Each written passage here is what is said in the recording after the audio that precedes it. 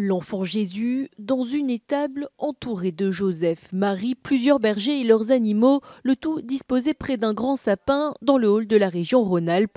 Une installation qui ressemble bien à une crèche de Noël, mais attention, pas de tradition religieuse ici, assure Laurent Vauquier. Il s'agit d'une exposition de Santon. Notre région est très attachée à la défense de ses traditions et de la tradition des métiers d'art. L'objectif est de mettre en avant un savoir-faire extraordinaire et par la même occasion contourner la justice, car le 6 octobre, le tribunal administratif de Lyon a rendu illégale l'installation d'une crèche dans le hall de l'hôtel de région l'an dernier.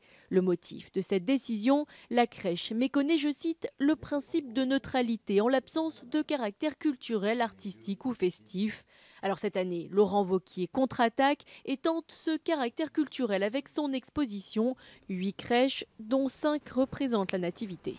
C'est une provocation inconvenante et insupportable. La laïcité, c'est pas avoir pour seul adversaire une seule religion, euh, c'est de séparer l'Église et l'État, quelle que soit l'Église, et évidemment aussi euh, l'Église catholique. Pas sûr non plus que cela passe pour la justice. En effet, le tribunal a précisé que la fabrication de santons par des artisans locaux ne suffisait pas à démontrer un caractère artistique. Laurent Vauquier, lui, a fait appel de la décision du 6 octobre.